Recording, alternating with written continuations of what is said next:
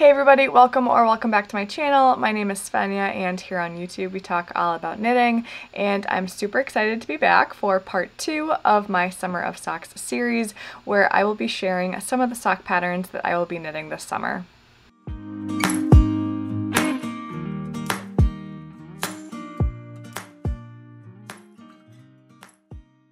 If you didn't catch part one of my series, I'll be sure to link it somewhere up here. But in that video, I talk a lot more about why I'm choosing to knit exclusively socks this summer, and it also talks through my list of sock makes. And by that, I mean a list that I've come up with of different sock styles, characteristics, or aspects of sock making that I really hope to accomplish by the end of the season. Now I know we're already a few weeks into the summer season and I actually already have a couple pairs of socks done, but I thought it'd be really fun to talk through my list and really share what I'm hoping to get out of a season long of exclusively knitting socks and maybe provide you some inspiration as well. If you want to find any of these patterns at a later date, I'll be sure to put a link to the Ravelry bundle that I made in the description of this video. I'll also be putting photos through this episode for you to have a visual to reference as I talk through all these patterns. So I have my laptop down here to be able to look up all the details of the patterns, so excuse me while I look down, but I will again be sure to put some photos in for you to see a little bit more about what I'm talking about. The first category on my list is a basic vanilla sock. I just didn't feel right committing to knitting socks for an entire season without at least including one basic pair. Now, I traditionally knit a lot of vanilla socks. I do cuff down with a traditional heel flap and gusset, and the pattern I'm about to talk about is my go-to vanilla sock pattern. I've mentioned it a lot on my channel here. Um, so my favorite basic vanilla sock pattern is the I'm So Basic Socks by Summerlee Designs. This is the pattern where I learned to knit socks from, and it's also the pattern that I recommend to new sock knitters because there are some great picture tutorials as well as videos that kind of coincide with the written instructions that just make it a really great beginner sock pattern. The next category on my list is knitting a pair of toe-up socks. Now again, like I just said, I'm traditionally cuffed down, so something about knitting toe-up socks is a little bit intimidating. It could be something to do with the fact that the cast on has to be seamless or invisible as you increase the toe. However, I did have a great recommendation for a pattern come through by a subscriber, so thank you so much if you reached out. Uh, the pattern that I will likely do is called the Toe Up Socks with a Difference by Wendy D. Johnson, and it is a free Ravelry download and calls for either a Turkish cast on or Judy's Magic cast on. So I feel like once I nail the cast on, the rest should be pretty easy. I do have a sock ruler which will help me measure for the heel, which I'm really excited to use. So yeah, we'll see. Maybe this is my new preference after I learn how to make toe-up socks. The next category on my list is knitting a pair of socks that have a interesting or a new cuff. Now I actually already finished a pair of socks that meet this category and that is the Frills sock pattern by Summerlee Designs. This is a pattern from her Shorty sock set, uh, which is a compilation of, I believe, three sock patterns together um, that are all Shorty socks and I believe the different versions include um, a basic shorty sock, one that has a little bit of a different arch support, and then the frills pattern. And I will talk a little bit more about shorties a little later, but this is really my go-to pattern um, when it comes to knitting shorty socks, although you can pretty much alter any uh, vanilla sock pattern to be able to be kind of an ankle or um, shorty sock. The next category on my list is knitting a different type of heel than I traditionally do. So again, I love a good heel flap and gusset, but I thought this would be a great opportunity to try out some different heels. And at first, I just wanted to do a afterthought heel. I've knit them in the past, but they've never been great fitting, so I thought this would be a good opportunity to kind of work through that.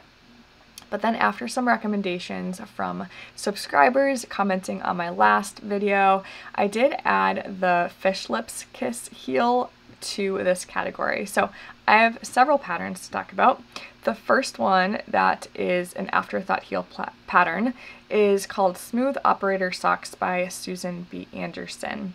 And this is a paid for pattern, but it sounds like it is quite in depth. It uh, has a tutorial um, for an afterthought heel and it also includes a modified twist for placing heel waste yarn which will make it easier to remove at a later time and kind of leads to like a more seamless look. There's also four sizes in this pattern, which is quite impressive because I feel like sock patterns um, typically only include like two, maybe three sizes. Um, so this ranges from a child to a men's large or woman's large. And there's also a bonus that includes a simple technique to get a rounder toe, which is right up my alley. I do love a good rounded toe. Um, so again, Smooth Operator Socks by Susan B. Anderson. This will probably be the pattern that I use.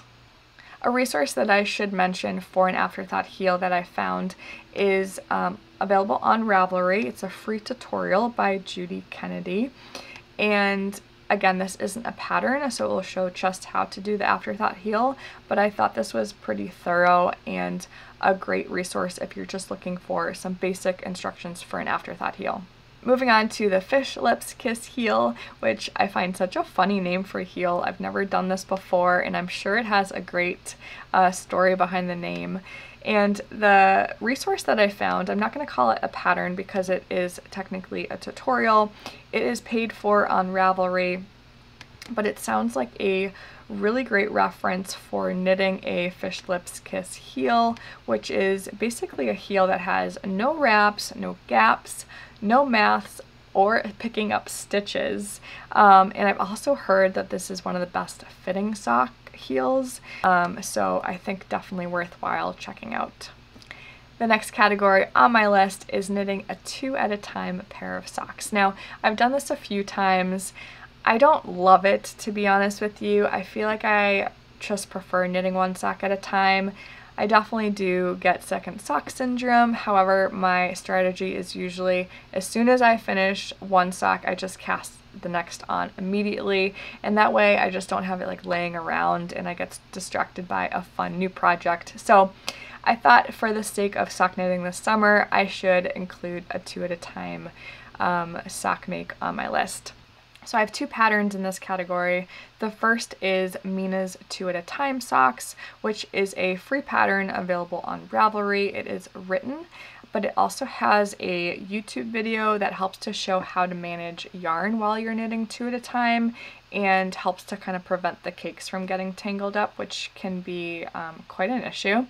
It is Magic Loop, and um, again, it's a free pattern, so I definitely think that one would be worth checking out.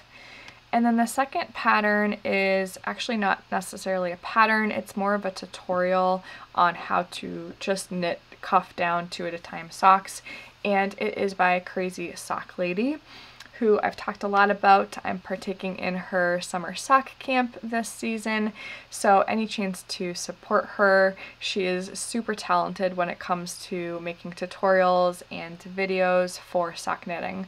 Um, so again, this is a cuff down um, tutorial, features a heel flap and gusset, and she also in this video shows how to split a self-striping yarn um, skein into two and how to match up the colors so the stripes correlate.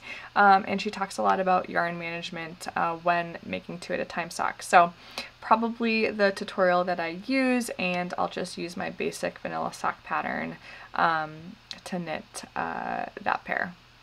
The next category on my list is making a pair of shorty socks. Now, I love shorties. I knit them all the time. I just think they're super fun. They fly off the needles. They're a great opportunity to mix and match different yarn and just have a lot of fun with.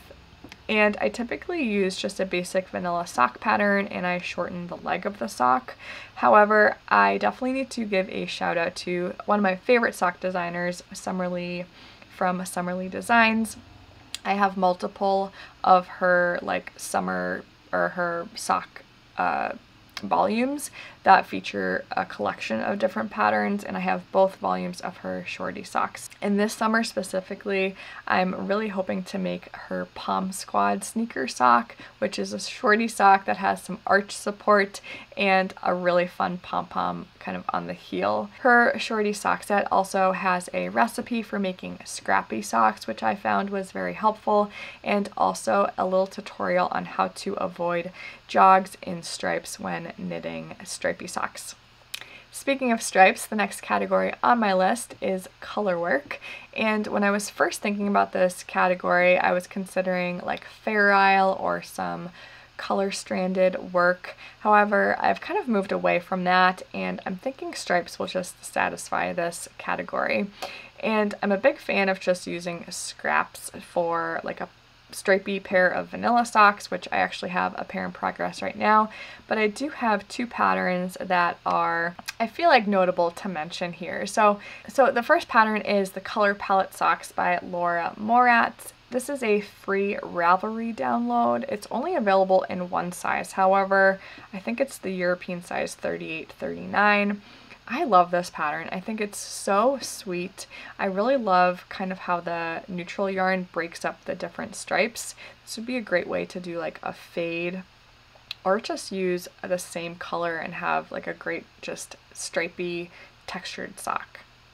The other pattern I really love and wanted to mention is the Summer Picnic Socks by This Handmade Life. And this Handmade Life is a really talented sock designer. She's actually brand new to me. Um, I specifically love this one because of the really sweet gingham pattern. I think it is adorable. It just screams summer. I think making it in like a light blue and a white would be really cute. Um, or like a red and white to uh, really kind of draw out like the picnic vibes of summer. The next category on my list is using a self-striping yarn. Of course you can use any type of pattern for a self-striping yarn, however I think just a basic vanilla pair to really highlight the different color changes would be fun. Um, I do have one pattern to mention that uh, is a toe-up sock and um, really considers how to make a self-striping yarn um, line up properly as it relates to the heel. And then it also talks a lot about how to maximize yardage. And that is the Trusty Toe Up Sock Pattern by Tanis Fiber Arts. It's a free pattern, which is excellent.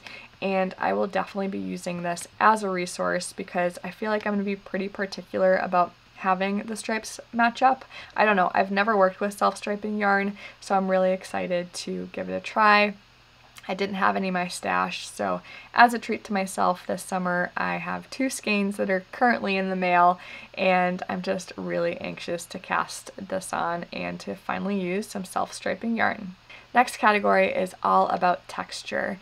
And when I started looking for textured sock patterns, I could not stop favoriting patterns on Ravelry. I just feel like there are so many amazing textured sock patterns and it was really hard to narrow down just a few for this episode. So as part of my Ravelry bundle, I'll be sure to add any patterns that I'm really liking that won't necessarily be mentioned right now.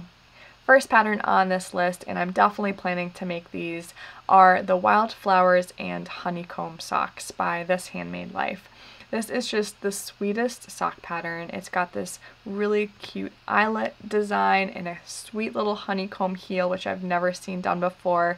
I was just smitten with this pattern and I really can't wait to cast it on. An alternative if you didn't want to knit eyelets on the entire sock is another This Handmade Life pattern and that is the Bluebird Cafe sock pattern. Um, yeah, again, it just has the eyelets on the front of the sock and um, just FYI, it is a pattern uh, designed from the toe up. Another textured sock pattern by This Handmade Life is the August Honey Socks, which are a pair of shorty socks and features a really beautiful honeycomb cable. This pattern is written as well as charted and has instructions to do both a cuff down and a toe up version. I have two textured sock patterns by the Crazy Sock Lady. Again, she's one of my favorite sock designers as well as sock knitting instructors. And I feel like I could mention every single one of her patterns because they're all delightful but specifically two are standing out to me. So the first is Rhinebeck Roomies, which thank you to another subscriber for this recommendation. This is a cuff down pattern with a traditional heel flap and gusset, and it is very easy to memorize this really beautiful ribbed pattern, and I just really love how that looks. Her other pattern is the morning coffee socks, and I feel like I couldn't not include a ribbed sock pattern in this list. And I feel like I like this one in particular because of the 3x1 design. A lot of ribbed sock patterns are 2x2 out there, so I thought this one was a little bit different, and um, I just really loved the overall I do want to give a honorable mention to a new sock designer that I recently discovered called Knit On Designs. She has a lot of great textured sock patterns as well as shorties, and I will definitely be checking more of her patterns out in the future. The next and almost last category, I promise you we're getting close to the end, is a pair of DK weight socks. What I failed to mention is that the rest of these patterns that I'm mentioning today are all for fingering weight yarn, but for the purpose of knitting lots of different types of socks this summer, I thought it'd be fun to knit some socks with different yarn weights. And I've actually already made a pair of DK weight socks, but figure I would mention the pattern. It is no surprise, it's another Crazy Sock Lady pattern called the DK weight vanilla socks. It's a free Ravelry download and it is knit uh, cuff down with a heel flap and gusset and I find it is one of the best DK fitting um, sock patterns out there. The last but not least category on my list is using a non-traditional yarn for a pair of socks.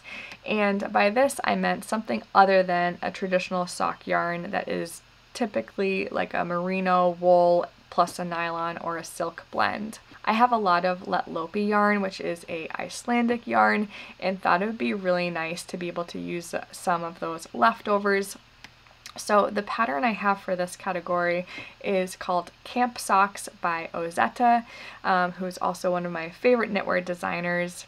It is a sock pattern that is designed cuff down specifically for the yarn Léttlopi, and there are two sizes that this is designed for.